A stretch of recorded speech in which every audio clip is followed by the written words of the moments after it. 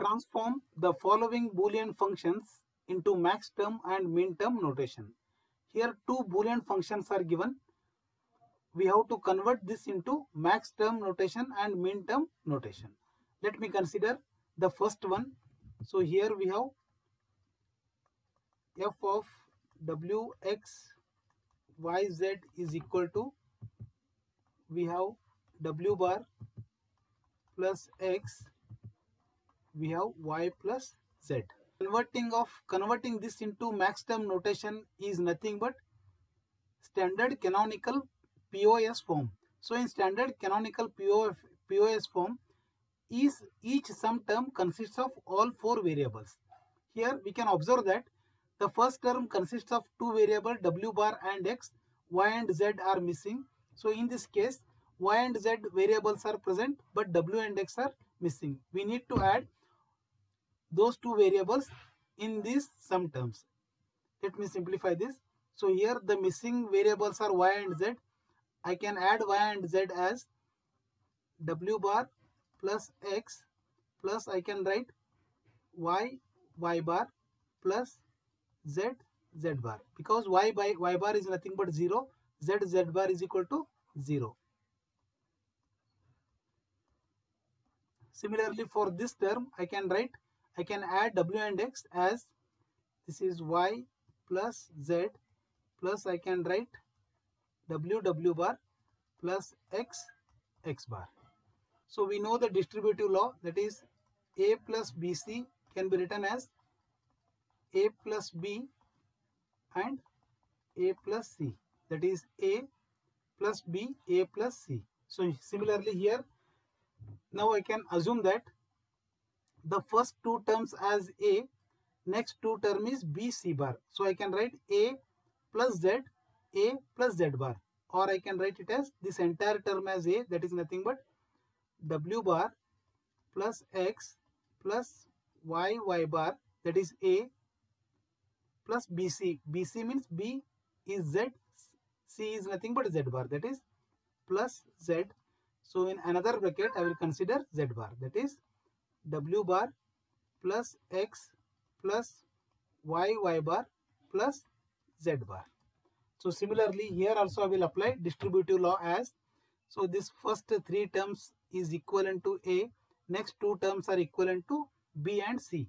A plus B A plus C. I can write it as y plus z plus w w bar plus x.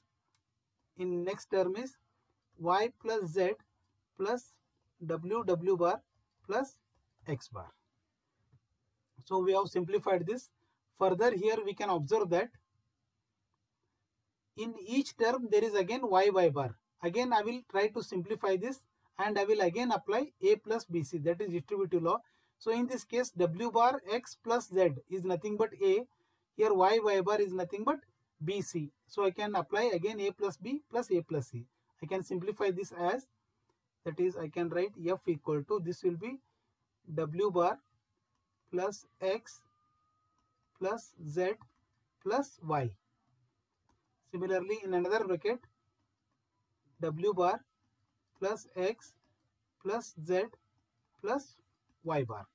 Similarly, I will like again apply distributive law here. I can write it as w bar plus x plus z bar plus y and one more time I will write and there I will consider y bar. That is w bar plus x plus z bar plus y bar.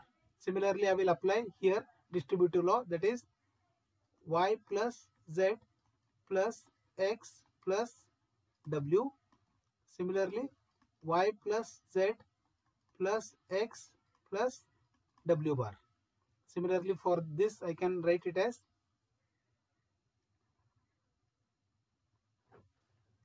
this is y plus z plus x bar plus w. And another term is y plus z plus x bar plus w bar.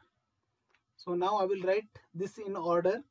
That is f is equal to I will write in order as wxyz that is this can be written as w bar plus x plus y plus z. This will be w bar plus x plus y bar plus z. Here it will be w bar plus x plus y plus z bar. That is w bar plus x plus y bar plus z bar. This can be written as w plus x plus y plus z. This will be w bar plus x plus y plus z. This will be w plus x bar plus y plus z. Finally we have w bar plus x bar plus y plus z. Now we'll try to convert this into max term notation. That is here we can observe that w bar in max term notation the normal variable for example w will be written as 0 w bar will be written as 1 so here w bar means it is 1 this will be 0 0 this will be 0 so here i can write w bar means it is 1 this will be 0 this will be 1 this will be 0 so here it will be 1 0 0 1 this will be 1 0 1 1 this will be wx w plus x plus y plus z. Is nothing but all are 0 0 0 0 0 so here it will be 1 0 0 0 here it will be 0 1 0 0 here it will be 1 1 0 0 so now let me write the max term notation that is f is equal to pi m max term it will be represented like this. Here the variables are it is 1000 means 8 it is 8 1010 means 10 1001 means 9 1011 means 11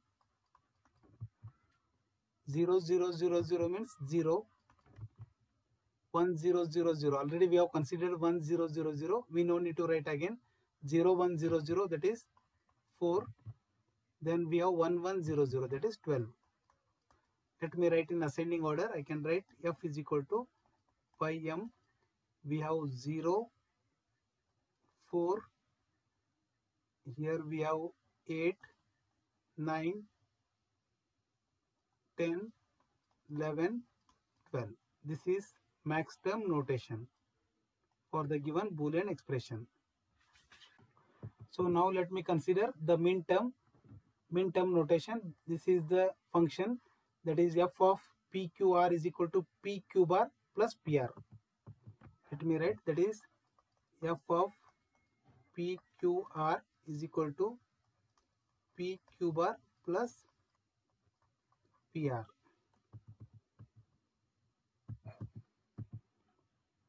so to represent it is in sop form sum of product form we have to convert this into standard canonical SOP form. That is nothing but in standard SOP form, each product term consists of all variables. Here variable R is missing. We should try to add R here. In this product term, Q is missing. We should add Q. Let me tell you how to add it. That is I can write P Q bar. Here variable R is missing. I can write it as R plus R bar because we know that a plus a bar is always equal to 1. Therefore, r plus r bar is nothing but 1 which is nothing but p q bar itself. Plus this can be written as p r q is missing here. I can write q plus q bar. Let me simplify that is I can write p q bar r plus p q bar r bar plus here I can write p r q plus P R Q bar. Let me write in order that is I can write P Q bar R plus P Q bar R bar plus P Q R plus P Q bar R. Now I can I will try to represent it in notation. So here p q bar r. In min term, p will be equal to 1, p bar will be equal to 0. Likewise for all other variables. So here it is 1, 0, 1. It is 1, 0, 0. This will be 1, 1, 1. This will be 1, 0, 1. Or I can write in notation as, so min term notation can be represented as summation m, small m. So this is 5, this is 4, this is 7, this is 5 or I can write in ascending order as so here 5 is 4 5 is 2 times we should write only once that is 4 5 7 so this is the min term notation for the given boolean function.